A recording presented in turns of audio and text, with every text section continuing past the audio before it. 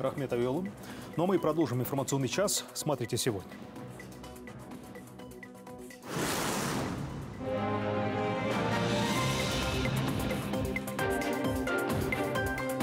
В Алматы продолжается суд над группой черных риэлторов, которые обвиняются в убийстве. Кто среди подсудимых? Ребенка истязали и травили лекарствами. За что и кто это делал? Что известно о здоровье несовершеннолетнего? Продление алматинского метрополитена, строительство инженерных сетей и улучшение экологической обстановки. Планами развития Труксипского района поделился Аким города Алматы на встрече с жителями. Спасатели Казахстана отметят свой профессиональный праздник. Сколько жизней спасли эти отважные люди, для кого работа является призванием.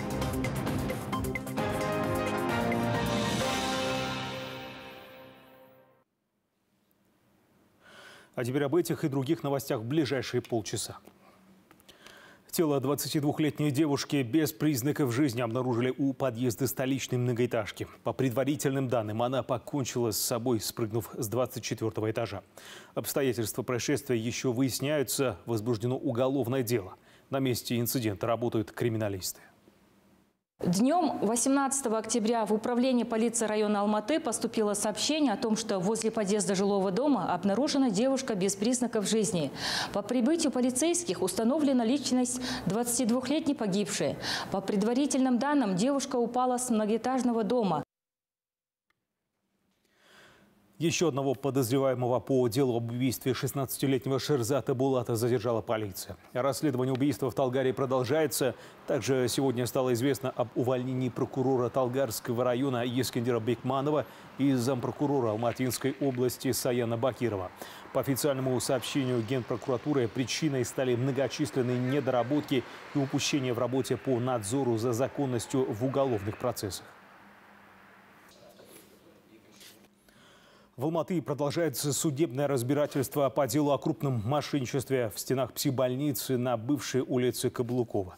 Всего на скамье подсудимых 22 человека. Следователям удалось раскрыть тщательно продуманную схему ОПГ черных риэлторов. Сегодня суд заслушал свидетелей по эпизоду незаконного, по версии следствия, присвоения имущества пенсионерки. Аида Иманалей побывала на очередном процессе.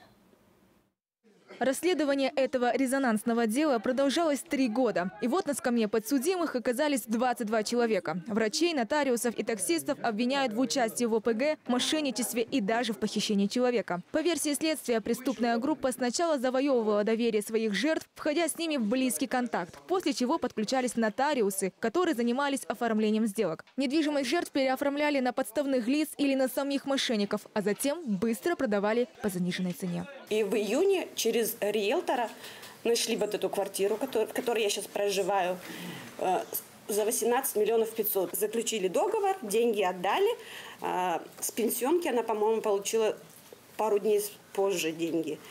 И сразу же там нотариус забрали ключи, Поехали. Всего в судебном разбирательстве 37 эпизодов. Сегодня был рассмотрен шестой, связанный со смертью пенсионерки и незаконным завладением ее имуществом. На этом этапе дела заслушали свидетелей, которые дали важные показания. Из обвиняемых первой выступила подсудимая Ирина Гапарова. Как выяснилось, она приходилась племянницей пенсионерки. Женщина категорически отрицала вину, заявив, что любила бабушку и всегда заботилась о ней. Вот только внучка покойной не верит искренности ее слов. Она появилась появилась просто спустя 7 лет.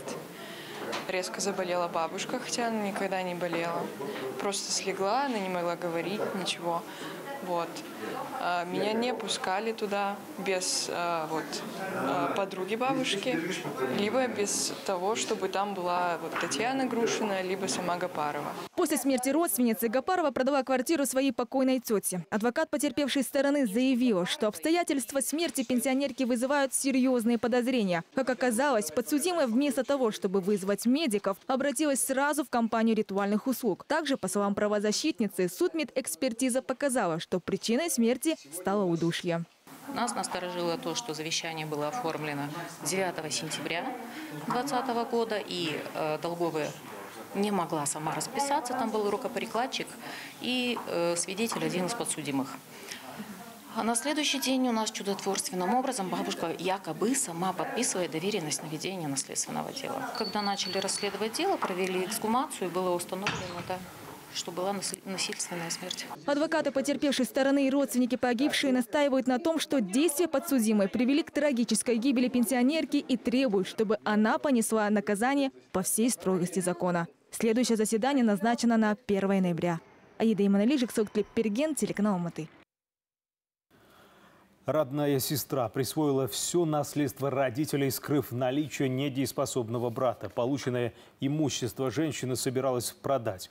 Но в дело вмешались прокуроры. Как оказалось, после смерти матери жительница Акмолинской области скрыла от нотариуса главного претендента на наследство и через полгода получила свидетельство о праве на него.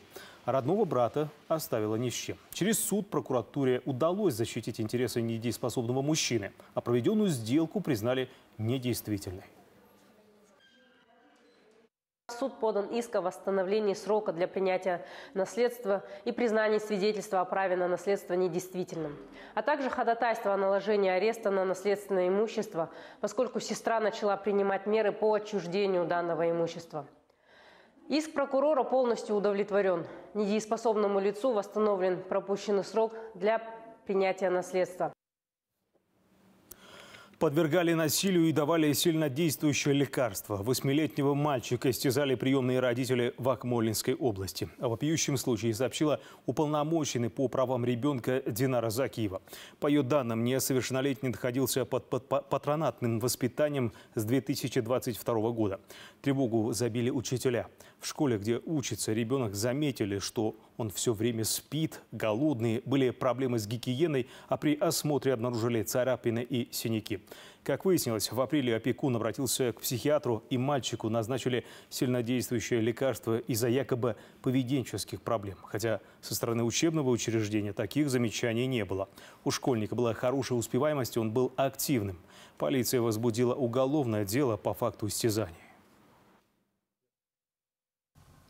По факту неправомерных действий, совершенных в отношении несовершеннолетнего, отделом полиции Бурабайского района проводится досудебное расследование по статье 110 части 2 Уголовного кодекса Республики Казахстан «Истязание». Иная информация в соответствии со статьей 201 Уголовно-процессуального кодекса Республики Казахстан разглашению не подлежит. Расследование данного уголовного дела находится на личном контроле руководства Департамента полиции. Сейчас ребенок находится в многопрофильной областной детской больнице. Медики говорят, что при поступлении мальчик был очень ослабленным и голодным. Состояние оценивалось как средней степени тяжести а, за счет интоксикации, а, диспептического синдрома. Э, на сегодняшний день состояние расценивается тоже ближе к удовлетворительному. Ребенок готовится на выписку.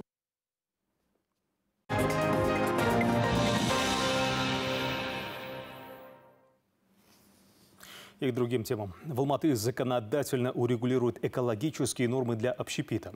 На встрече с жителями Труксибского района Аким города Ербулат Дусаев рассказал, как будут решены жалобы жителей на дым от работающих кафе и шашлычек.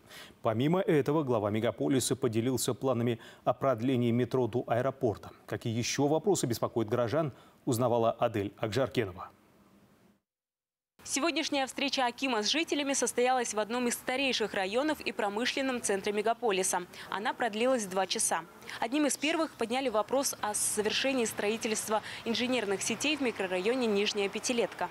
Нужно закончить работы на квадрате э, улица Панасенко, Свободная, Земнухова, Балкадиша, там, где идет основной поток машин, объезжающих пробки по Бекмаханова то Алвес ведутся работы по строительству водоснабжения канализации. Всего 4800 абонентов. В этом году, э, в ноябре месяце, основные работы планируется все завершить, в том числе по улицам, которые называет вот э, заявитель. Это верхняя часть выше Бекмаханова. Ербулат Дусаев поручил усилить контроль совместно с компанией, осуществляющей технадзор по инженерным сетям.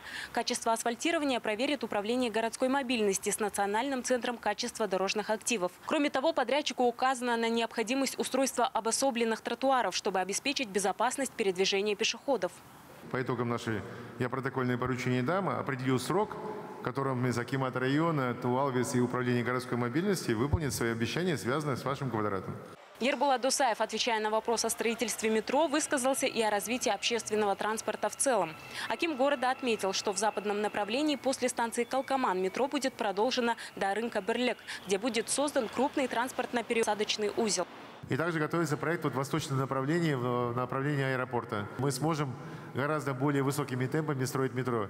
В транспортном каркасе города скоростные виды транспорта, такие как метро, ЛРТ, и выделенные линии для автобусов являются нашим приоритетом. И в следующем году вот начнутся основные капиталовложения и начало строительства больших проектов. Обсудили на встрече и экологические вопросы. Одна из жительниц пожаловалась на дым от местных шашлычных.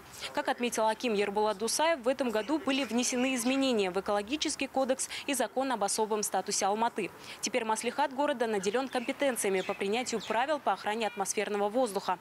Одно из таких правил будет обязывать установку на мангалы гидрофильтров с высоким уровнем очистки воздуха и улавливанием вредных веществ. Аделя Жаркинова, Алишер Герхалиула, телеканал «Алмата». 19 октября свой профессиональный праздник отмечают спасатели республики. Ежегодно они эвакуируют свыше 22 тысяч человек из зон пожаров, землетрясений и других ЧС. В преддверии праздника наша съемочная группа посетила спецотряд номер один. Его бойцы спасали жизни людей во время крупных паводков. Подробности в материале моего коллеги Владислава Иващенко. В этой профессии нужен стальной характер, смелость и отвага. Алишер Азнабакиев работает пожарным спасателем уже третий год. Признается, о своем выборе ни разу не пожалел. Несмотря на молодой возраст, 22 года, за плечами у Алишера немало спасенных жизней. Бывали моменты, когда коллеги на своей спине выносили друг друга из пожара. Когда жизнь на волоске, мысли о жене и девятимесячном сыне помогают ему вернуться домой целым и невредимым, сквозь огонь и воду. На опасные моменты, да, были. Как говорят у нас, когда заступаешь на смену, ты не знаешь, вернешься ли ты домой. А у меня есть супруга, есть маленький сын.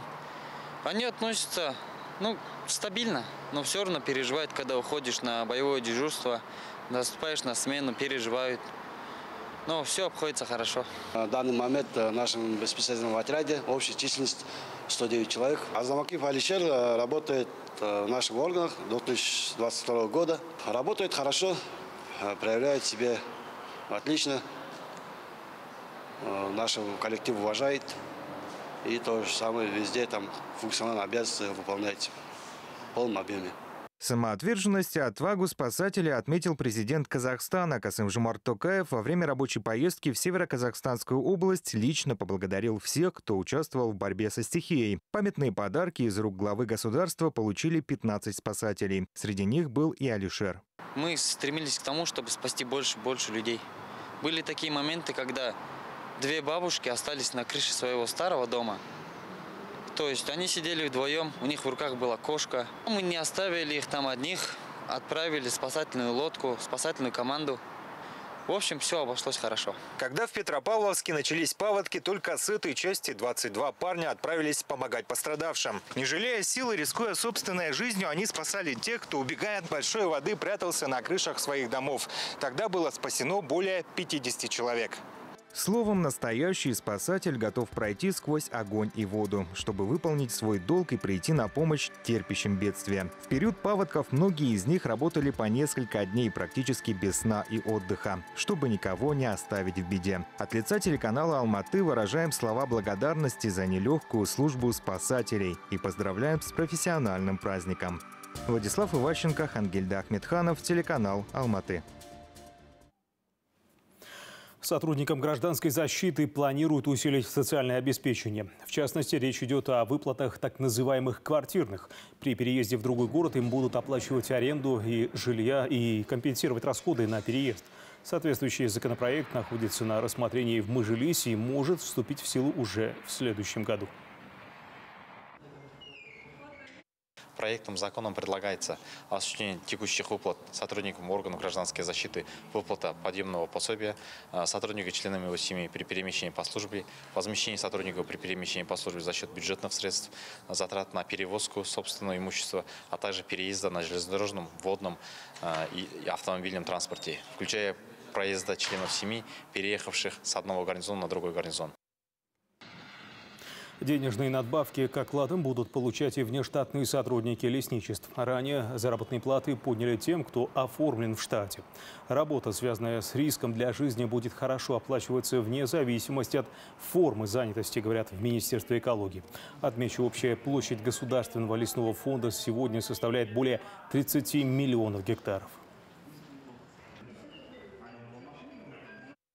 Начислению доплат работникам э, лесного хозяйства за работы, связанные с риском причинения вреда здоровью или жизни для штатных работников. В этом году такие же поправки были внесены. Данные надбавки будут выплачиваться работникам, внештатным работникам, это которые осуществляют свою деятельность э, в лесопожарных станциях для водителей, для пожарных бойцов и для десантников вы смотрите новости, и вот что вас ждет во второй части нашего выпуска.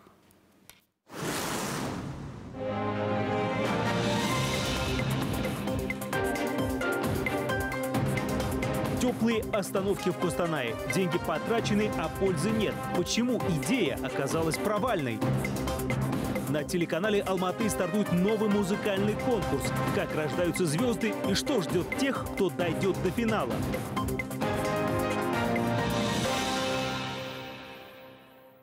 Вы смотрите новости, мы продолжаем.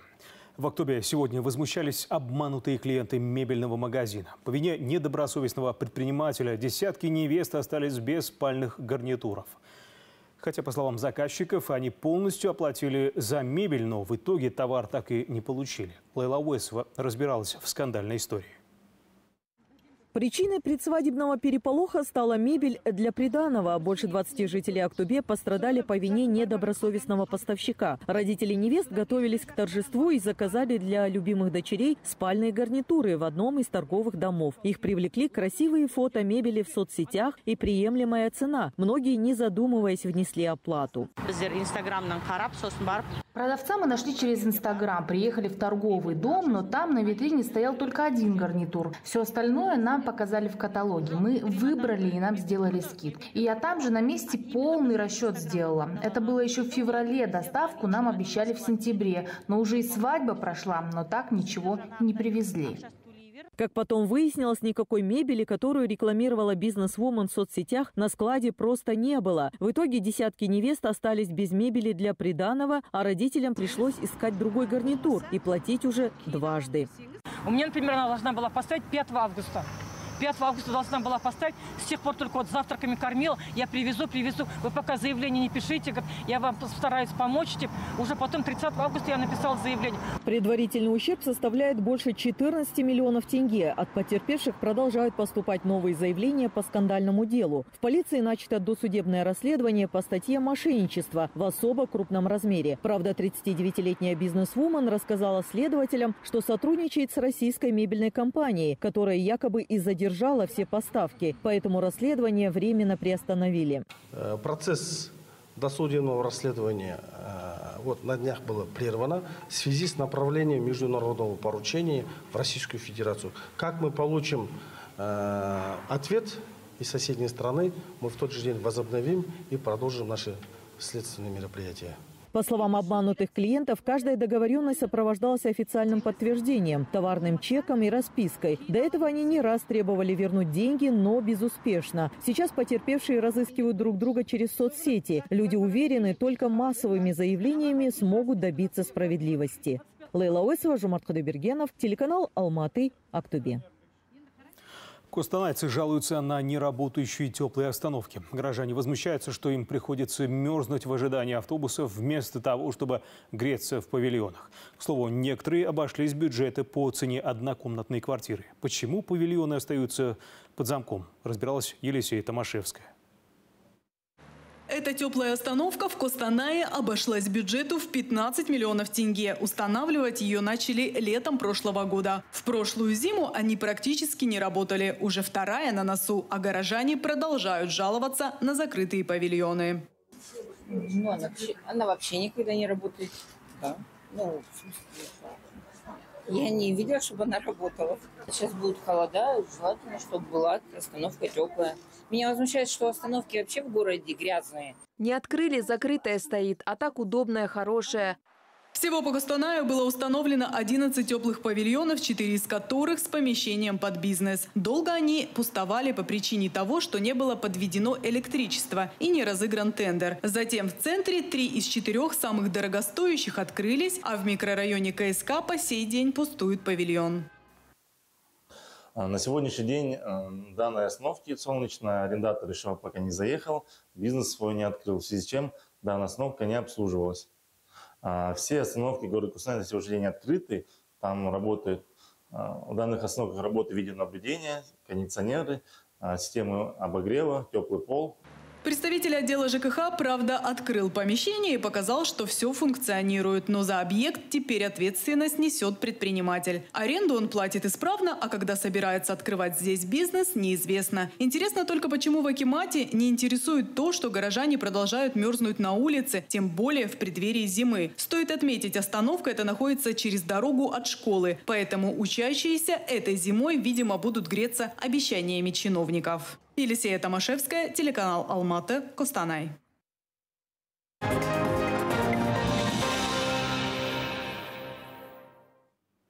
И к другим темам. Целых три дня в Алматы проходил второй международный кинорынок Eurasian Film Market. Он собрал представителей киноиндустрии из стран СНГ мировых кино и ТВ-рынков. Особое внимание уделили возможностям дистрибьюции и совместных созданий фильмов, а также продвижению отечественных и международных кинопроектов. В рамках образовательной программы прошли мастер-классы для молодых специалистов. Одним из таких мероприятий стал Digital Education, который провели казахстанские и итальянские эксперты. Спикеры делились знаниями знаниями о том, как применять цифровые технологии в киноиндустрии и образовательных процессах. В этом году кинорынок посетило более 300 участников. А, это участники из разных стран, а, представители, а, представители крупных компаний, продюсеры, sales-агенты, дистрибьюторы, закупщики, отборщики кинофестивалей. Также, кроме того, что мы провели э, презентацию нового казахстанского кино, э, традиционным блоком является программа «Поиск». Программа «Поиск» формируется для закупщиков киноконтента. В течение трех дней спикеры участвовали в панельных дискуссиях, где обсуждались важные вопросы киноиндустрии, включая производство и дистрибьюцию, новые тренды и вызовы. Например, дискуссия о международном сотрудничестве в киноиндустрии. Продюсеры и другие специалисты обсудили кооперацию между странами Центральной Азии и международным рынком. В месяц в Казахстане сейчас выходит 15 фильмов. То есть, а киноиндустрия, она еще потребляет или вмещает в себя дополнительные индустрии. Это а, фотография, музыка, digital production и так далее. И самое главное, а, у нас сейчас количество постепенно переходит качество, и вот работы были показаны, да, уже экспортируют. На телеканале «Алматы» премьера нового сериала «Дем». Захватывающая медицинская драма расскажет историю нейрохирурга Мируэрт, чья жизнь переворачивается с ног на голову, когда она влюбляется в своего пациента. Сможет ли девушка сохранить профессионализм, столкнувшись с личной драмой? Когда начнется показ и другие подробности в сюжете Рустама Аралбаева. Главные герои картины – девушка по имени Мируерт и сын влиятельных родителей Еркин. История двух молодых людей возникает в стенах медклиники, где Мируерт работает нейрохирургом. В один из дней к ней на операционный стол попадает мать Еркина. Парень выражает сомнения относительно профессиональных навыков молодого врача, но вскоре, после дорожной аварии, и сам нуждается в ее помощи. Мен роль бойынша білікті маман нейрохирургпын я исполняю роль Мируэт, талантливого нейрохирурга, который каждый день приходится спасать жизни. Это человек, всего себя посвятившая профессии, любимому делу. Но в ее судьбе происходит событие, которое полностью меняет прежнюю жизнь. Она влюбляется в молодого человека по имени Еркин. Но раскрывать всего пока я не буду. баласы Роль Еркына, которую я играю, для меня очень интересная. Молодой человек из состоятельной семьи. Он избалован, любит внимание. Постоянные скандалы с родителями. Но постепенно этот образ уступает место другому. После встречи с Мирверт он преображается. В этом многосерийном фильме показана сложность и важность работы медиков. По словам главного режиссера, их команде удалось раскрыть не только важность нелегкой работы врачей, но и рассказать историю их жизни, где есть любовь, предательство и другие вещи. Главная героиня Мируэр целиком и полностью посвятила себя пациентам. Пожалуй, это и есть настоящий врач, которых в нашей стране немалое количество. В сериале подробно описана повседневная жизнь персонала больницы. Этот проект раскрывает важность и труд профессии врача. В то же время отражаются различные новые разработки в медицине, которые помогают спасать людские жизни. Премьера сериала «Дем» состоится уже 21 октября. Семейная теленовелла состоит из 10 эпизодов, каждый из которых длится 25 минут. Рустам Аралбаев, Диас Махамбетов, Гани Халулов, телеканал «Алматы». А уже в это воскресенье зрители нашего телеканала могут насладиться премьерой музыкального конкурса «Шарка Казахстан». Принять участие в мегапроекте смогут участники от 18 до 45 лет.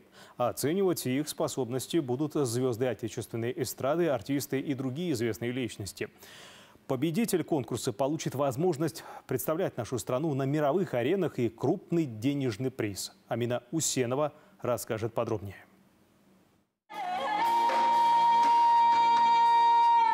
Ширка Казахстан – это масштабный музыкальный мегапроект. Он нацелен на поиск талантов с уникальными вокальными данными. Для участия в шоу с разных уголков страны поступило свыше 500 онлайн-заявок. Это, кстати, одна из главных особенностей проекта, ведь поучаствовать в нем могут таланты со всей республики. Это большая возможность для участников из разных регионов. Не было необходимости специально приезжать на кастинг в Алматы или Астану. Достаточно было снять на камеру своего телефона выступление и отправить нам. Итак, мы отобрали лучших из лучших для этого проекта.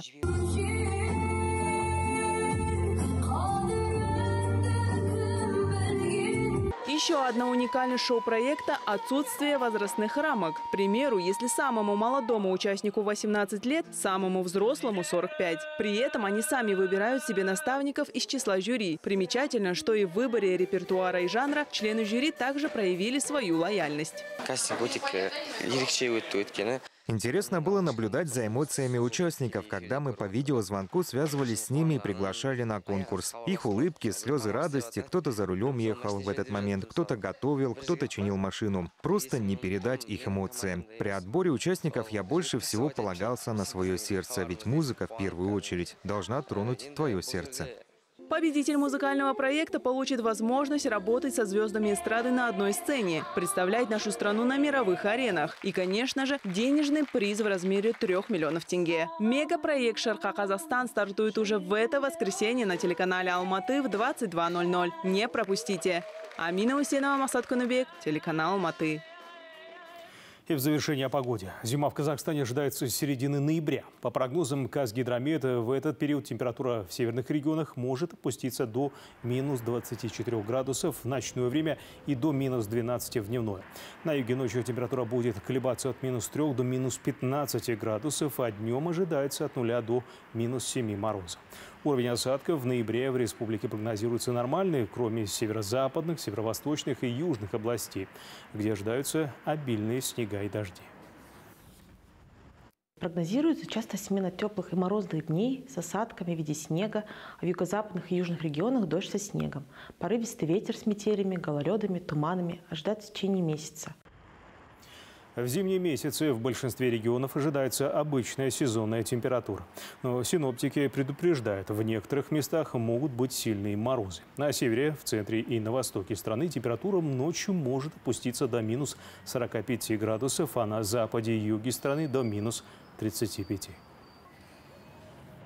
Согласно консультативному прогнозу, зимой температурный режим ожидается в пределах климатической нормы, с осадками, превышающими многолетнюю норму. Однако не исключены периоды с прекращением осадков и аномально низким температурным фоном. И на этом наш выпуск завершен. Спасибо, что были с нами. Делитесь интересными новостями по номерам и аккаунтам, указанным на экране. На этом наш выпуск завершен. Всего доброго. До встречи в эфире.